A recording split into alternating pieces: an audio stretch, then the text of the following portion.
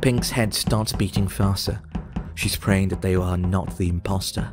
She quickly diverts the power to communications, and when she turns around, she sees Dark Green dead, with Black standing next to him. The door has been shut. Black, can you move? I need to report that body you just killed, Pink said. Hmm. Black smirked, standing behind me, and Dark Green's body. But you killed him! Correct? But it's my job to report you and find the imposter. What were you saying, baby girl? I can't quite hear you. Pink blushed at the nickname. Dark Green, I need to report it, Pink mumbled.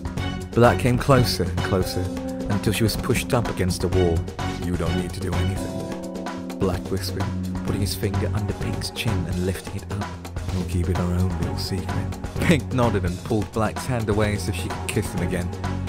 Fuck. Was such a good kisser, Pink said. Black moaned at the place. what, please? Please what? I can't. I can't.